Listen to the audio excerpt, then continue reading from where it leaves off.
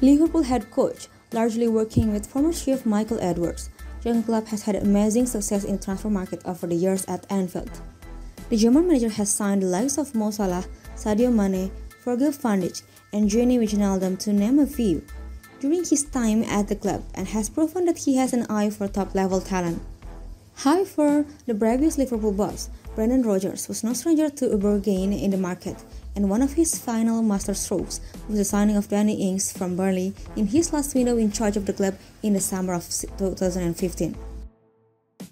How much did Liverpool pay for Danny Ings? The club only paid an initial 6.5 million pound to sign him from the Clarets, which was decided by a tribunal as the marksman was out of contract and went on to make a big profit on the gem. Ings, who Noel Whelan once hailed as a phenomenal finisher, only ended up playing 25 first team matches for the Reds in all competitions scoring 4 goals. However, his time with the club was marred by horrible injury luck. Between 2015, 2016, and 2016-2017 campaigns, the attacker missed a staggering 85 competitive matches due to knee injuries, which disrupted his development and did not help his efforts to become regular at Anfield.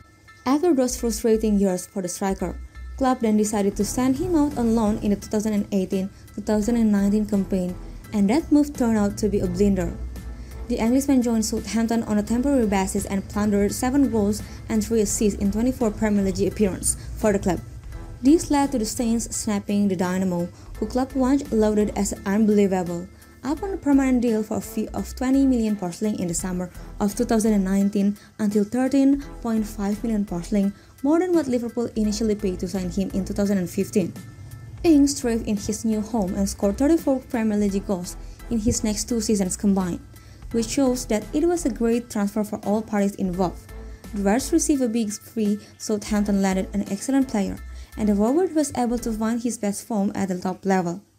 Therefore, Rodgers and Klopp between them played a blinder with Ings in picking him up for a fairly small fee before making the right choice in his development despite the injury issues, to then sell him for a huge profit.